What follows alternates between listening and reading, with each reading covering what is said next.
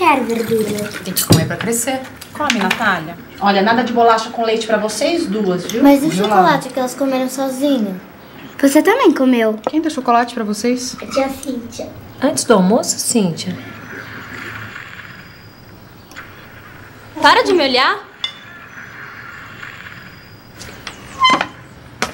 Por que você fez isso, hein? Fez o quê? Ela não pode olhar pra outra?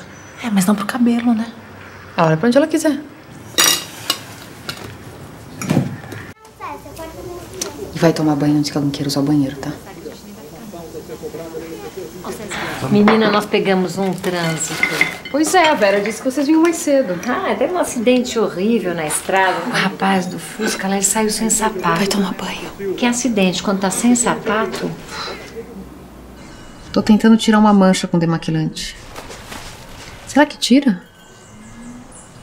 É de berinjela. Claro que mancha, que você não corta. Eu fiz bastante hoje porque a Lia chegou. Hum, aliás, ela mal chegou e se ofereceu pra ajudar.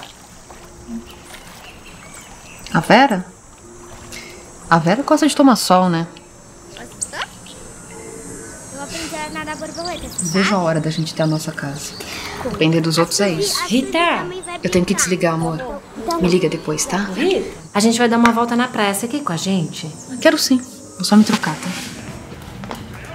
A Laura que pegou. Cadê meu chocolate? Eu compro outro igual. Rita, deixa pra lá. Como é que é esse chocolate, Laura? Talento branco com granola e uva passa. Vem, Laura. Ô, Rita. Rita. O que que te deu, Laura?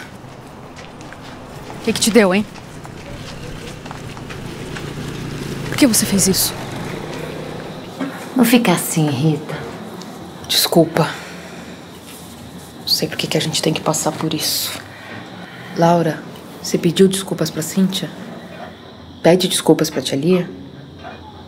Desculpa. Promete que você não vai deixar sua mãe mais triste? Vai pedir desculpas pra Cíntia, filha?